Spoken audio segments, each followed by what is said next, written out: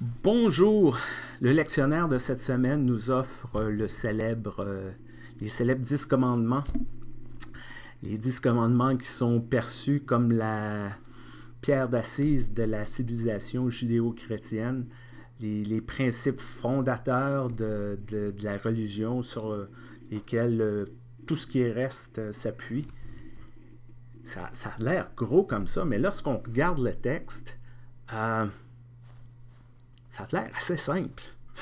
Euh, tuez-vous pas, euh, tuez pas euh, votre prochain, volez pas, trompez pas votre, votre partenaire, ainsi de suite. Ça a l'air de tellement être du gros bon sens qu'on se dit, ben, pourquoi que c'est, pourquoi que c'est dans la Bible? je veux dire, pourquoi que les, les, gens ont eu besoin de se faire dire ça à un certain moment donné? C'est quoi le rapport? Ben, justement, dans notre Bible, ce qu'on comprend, c'est que Moïse a reçu les dix commandements de Dieu lorsqu'ils étaient euh, dans le désert. Après plusieurs euh, générations de, d'esclavage, de, travaux forcés, je pourrais dire, à la solde des, Égyptiens, les Israélites sont libérés, ils peuvent s'en aller. Fait bon, ils s'en vont vers la terre promise. Euh, ce qui se passe, c'est que, bon, ils sont dans, ce, désert, dans ce no man's land, plus ou moins, pendant environ, selon la Bible encore une fois, une quarantaine d'années. Et c'est là qu'ils se rendent compte que euh, les structures, les règles, la façon de faire qui, étaient, qui leur étaient euh, communs, mais ça ne marchait plus. Là.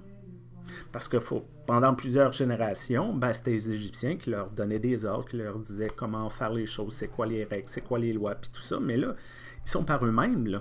Et dans un autre milieu, dans un autre contexte, ils se rendent compte, ben, euh, ça ne s'applique pas. Là.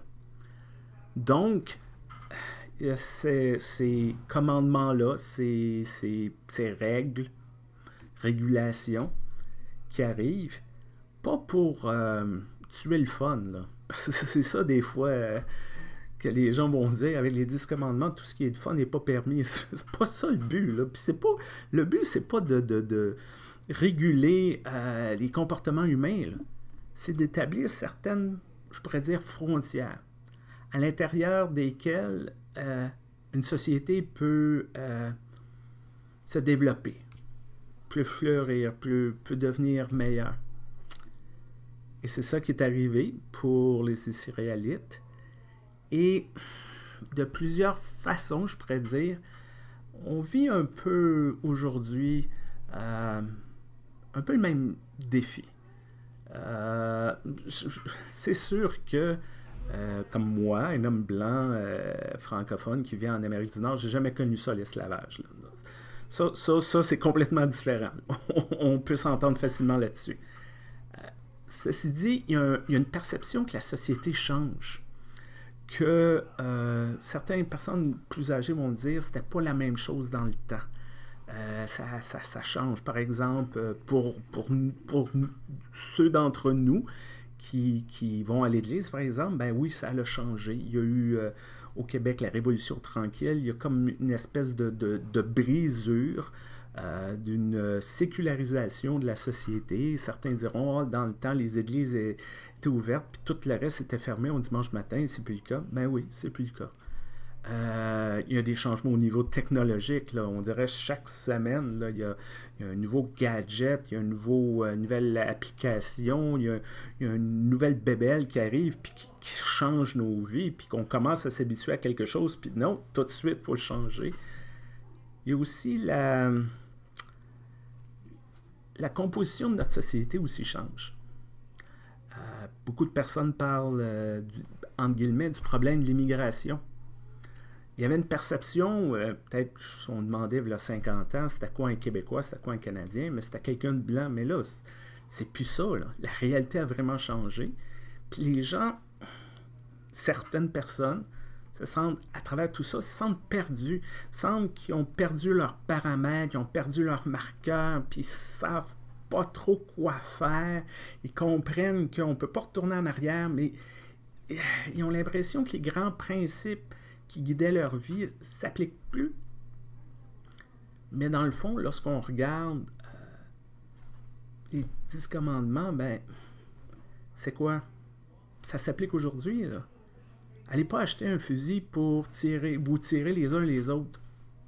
Ah, Accapérez-vous pas des ressources des autres. Euh, prenez pas ce qui vous appartient pas. Ou ce qui appartient peut-être à la collectivité pour la monétariser puis de, faire euh, un bon profit. Euh, ne croyez pas et ne répandez pas de fausses nouvelles, des fake news. répétez pas des propos racistes ou des stéréotypes qui, on le sait, n'est pas vrai, mais que ça peut être payant pour nous. Il y a tellement de choses qui sont la base, qui semble tellement simple, tellement évident, mais à quelque part, on dirait qu'on a besoin de se faire rappeler ça.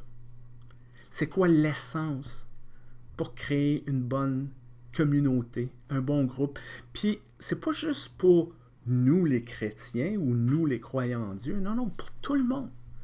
Nous les chrétiens, nous les croyants en Dieu, on peut faire notre part pour que tout le monde y gagne, pour que toute la collectivité y gagne, et qu'on peut créer une meilleure communauté pour tous et toutes. Et c'est ça que j'aimerais vous inviter à faire cette semaine. Certains appelleraient ça retourner à la base. Je ne sais pas, qu'est-ce que vous en pensez, mais pas mentir, pas tricher, pas voler, pas tuer, que vous n'allez pas tuer quelqu'un. Ça paraît tellement simple. Des fois, on y pense pas, mais. Puis on agit autrement, mais on a juste besoin de se le rappeler. Soit, peut-être partager avec d'autres. Puis de, puis de croire que ces simples choses-là, ce n'est pas, pas des, des, affaires de fleurs bleues, ça a un impact pour de vrai dans notre société, à petite échelle et aussi à grande échelle. C'est tout pour tout aujourd'hui.